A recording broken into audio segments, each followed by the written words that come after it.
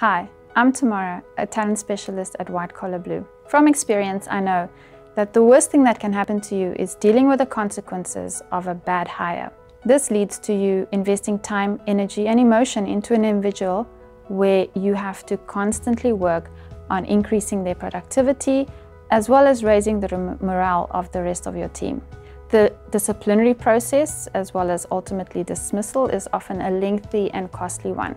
When partnering with me, you can rest assured that not only will I find you the best talent with urgency, but I will do everything in my power to ensure that you don't have to deal with the consequences of a bad hire. Call me today so we can work together.